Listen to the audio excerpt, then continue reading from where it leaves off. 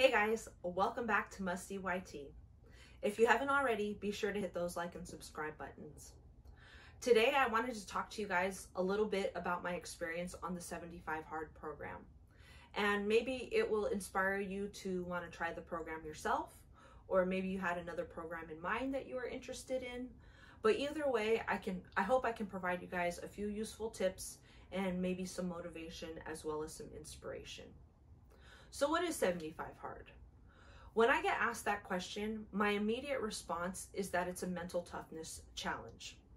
Now, many people are going to look at the rules, especially the two workouts per day, the one gallon of water, and they're going to think that it's a fitness or a weight loss program. And you should definitely lose some weight if you're doing everything correctly, but it's much more than that. And I would absolutely call this a mental toughness challenge. 75 Hard was developed by a gentleman named Andy Frisella. And Andy Frisella, what I like about him is that he talks the talk and he walks the walk. He was not born with a silver spoon in his mouth. He built all his businesses on his own from the ground up, one of the most successful being his uh, sports supplement line, 1st Form. And he is also a podcaster. He has one of the number one business podcasts on both iTunes and Spotify. It's called Real AF with Andy Frisella. I would definitely recommend you check it out if you need some motivation. So you might be wondering, how do I know all this? If you decide to do the program, I would highly recommend that you purchase the book. And in the book, you're going to get a short biography of who Andy is and why you should listen to him. And he's also going to provide a week by week breakdown of the program and what you can expect from week to week. I found this to be very helpful and very motivating and definitely recommend you pick it up. I think it was less than $20 if I'm not mistaken. When I read this book, the chapter that really got to me was chapter 11. And in chapter 11, Andy talks about the voices we have in our head. And we all have these voices in our heads. But he refers to two specific voices the boss voice and the bitch voice. Every day there is an epic battle going on inside of you. It's the battle between two voices in your head. I call them the boss voice and the bitch voice. The boss voice is the one that speaks to us of our potential for greatness. It's the voice that drives us to better ourselves, to become the best we can possibly be. It will bark at you to stop whining, stop making excuses, get off your ass and get to work. The problem is, most people don't listen to their boss voice. They listen to the other voice, the bitch voice. The bitch voice is the one who originates every negative word that enters the human mind and goes out into human society. It's the voice that practically trademarked phrases like, not now, maybe tomorrow, you can't, you shouldn't, who do you think you are, how dare you. The bitch voice is the mastermind behind every mindset or movement that makes every possible excuse for why a person can't become what they really want to become and do anything that they want to do. You come from a shitty family. You were born into a lower economic class. You're a woman in a man's world. You're a minority in a white culture. You weren't born with the right genetics. You aren't educated enough. Those are terrible words and phrases, aren't they? But let's be honest. You've heard those exact phrases in your head, and if you're like most people, you've not only heard them, you've obeyed them. We all have these voices in our heads, and they mess with us. And after reading that chapter, I became more aware of the voices in my head. And it was just like, shut up please just let me do what I need to do. And at that point, the boss voice became a little stronger because I was tired of this bitch voice telling me all these negative things. And I felt as if that just by doing the program, I switched, I flipped the switch. You know, the, the light, the switch had been flipped, but the dimmer was on. And when I read this chapter, the dimmer was flipped on as well, Everything was illuminated. I became aware of those voices in my head, and now the battle was with the voices. And the whole phrase you versus you took on a whole new meaning for me. And I could not wait to beat down these voices. I could not wait every morning to give them the double middle fingers. So take control of those voices in your head. Now let's get into the rules. And I'll go over each one individually to give you some tips and pointers that help me get through. So, number one, you got two workouts a day. One has to be outside and they have to be 45 minutes each. You have 10 pages of reading to complete, a gallon of water to drink. You must follow a diet with no cheat meals or alcohol, and you have to take a progress picture. All of these tasks must be completed daily. The first task that you complete two 45 minute workouts. For me, that required better time management, hands down. Before I used to get up at around 6:37, you know, use a bathroom, get cleaned up, have breakfast, start your day. But for me to be able to complete all these tasks, my wake up time was the first thing that had to change. So my wake up time went from 6:30, usually 7 to 5. And that for me was the hardest challenge. The workout, I mean, don't get me wrong, working out is hard, but waking up for me was 10 times harder. And having to face the cold weather outside, that one was also very challenging for me because I do not like the cold and I naturally run cold anyway. So getting up early and knowing that I had to run or walk in the cold was very daunting for me at times. And if I'm being completely honest, there were times I cried because I, I just didn't want to do it and I was tired and I was sore, but I just didn't want to fail. And I don't know how that switch got flipped, but it got flipped. And even though I was like mad and sad, I was determined. So for 75 days, let's go. So my morning routine when I began the program, I started at 5 a.m., wake up, bathroom, coffee. By 5:30, I start my reading. I got 10 pages worth of reading. By 5:50, make the bed, clean up, get dressed, and I usually listen to local news in the background while I would do that. By 6:15, I would begin my walk, and by 7 a.m., I was done as soon as I got home, I would always do my best to drink at least two bottles of water because that task many times got away from me. So if I didn't start immediately after my workout, many times at the end of the day, I had a lot of water left over that I had to drink. Um, by 7 a.m., 7 to 8, I'm having breakfast, uh, time with family. By 8 a.m., I walk the dog. 8.15, take the progress pick right before the shower, and at 9 a.m. my workday would begin. By the time my workday began, I had already completed three tasks and I was working on the fourth. So that was very motivating. Like I had already accomplished so much before anybody had even started their day. And that for me was a big sense of pride. So that helped to silence, or not silence, lessen the volume of that bitch voice. Now, when it came to the reading, I had to do the reading in the morning. I'm not a night reader.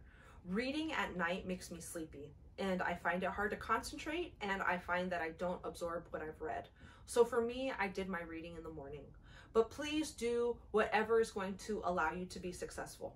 If you're a morning reader, do it in the morning. If you prefer reading at night, feel as if maybe it gets, you know, loaded into that subconscious while you sleep, excuse me, then please do that.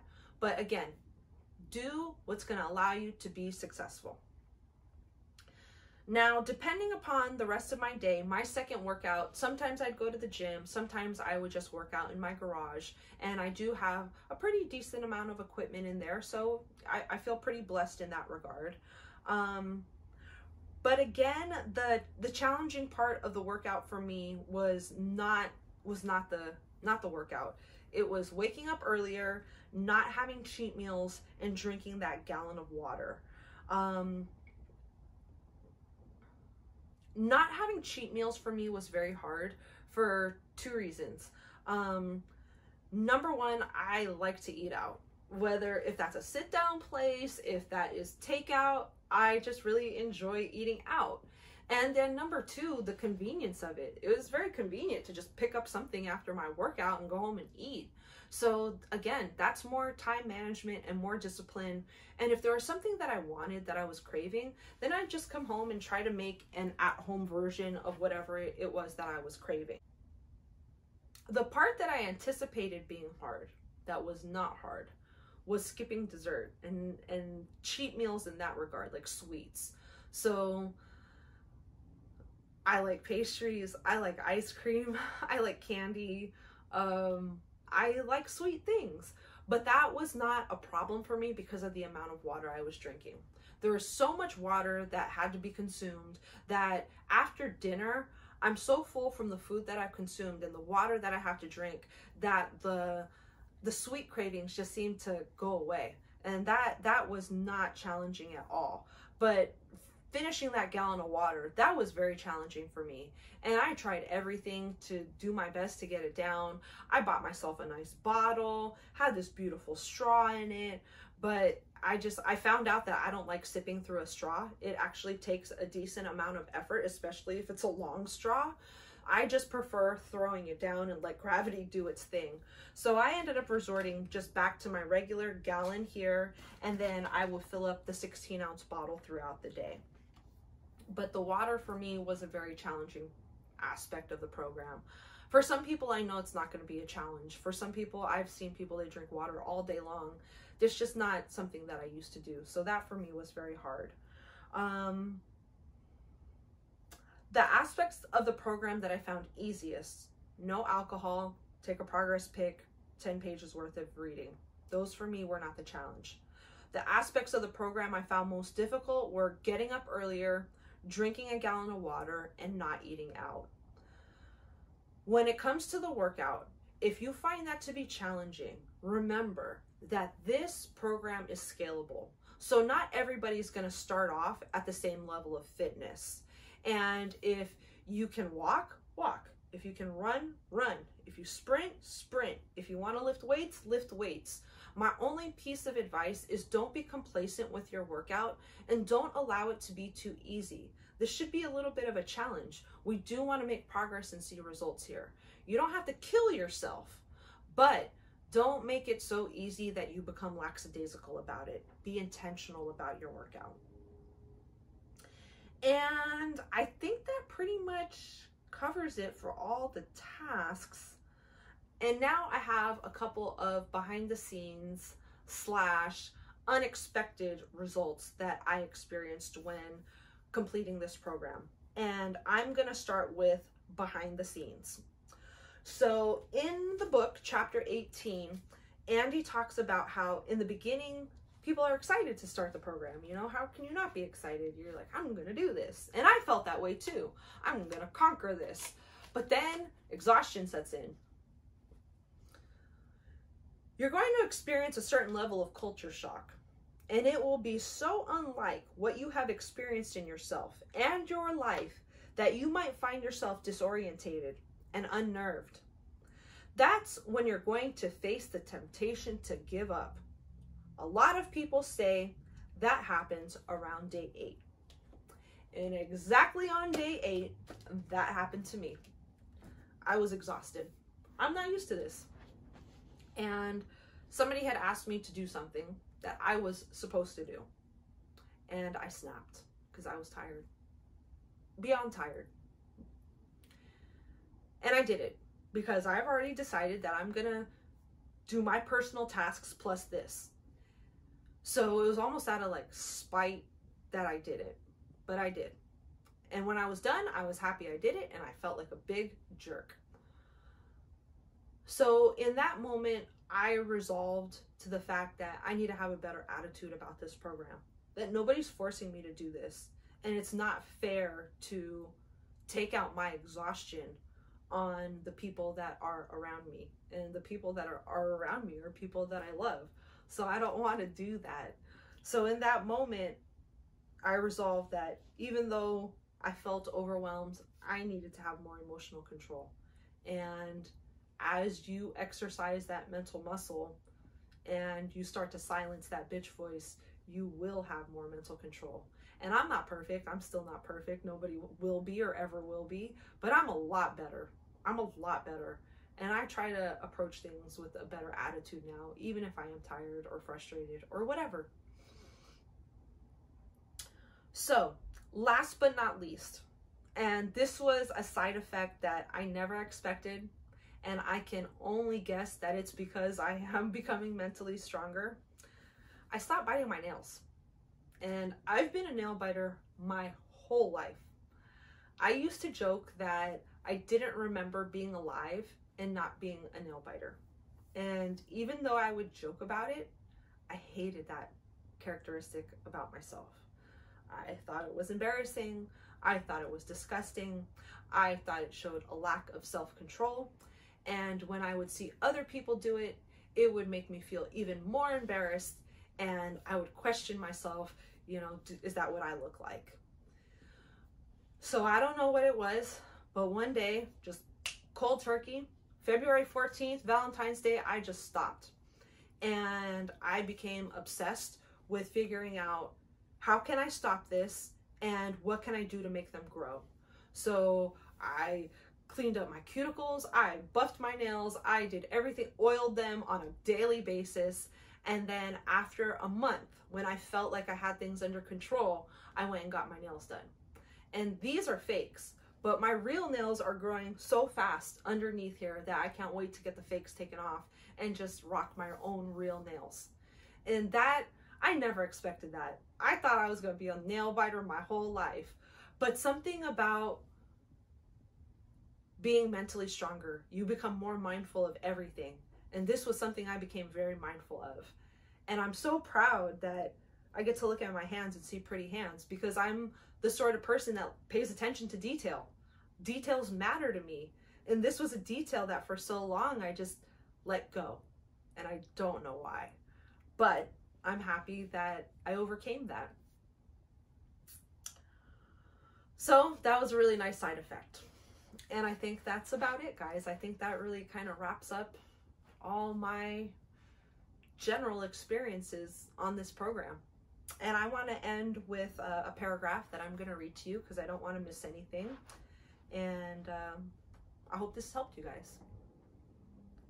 You know, it's called 75 Hard for a reason. It's hard. But I feel like it's one of the best things I've ever done for myself. As an athlete, I know what it's like to work on the physical muscles, but we also need to pay attention to our mental muscle. And if we want that muscle to get stronger, we have to work it. And work is not easy, and it is definitely exhausting. But through doing the work, your mind becomes stronger. And as your mind becomes stronger, you have more confidence in yourself and you trust yourself more. And that has been the most massive reward for me. So, guys, that's about it for 75 Hard. If you have any questions about the program, want to know anything about my experience, or you know, have a curiosity of your own, just go ahead and leave your comments or your questions in the comments box below. I'll get back to you as soon as possible. I encourage you guys to work on yourselves, do the best that you can do, and I think that's really about it. Thank you so much for joining me. I appreciate it. And I will see you guys next Thursday for another episode of Must See YT. Peace.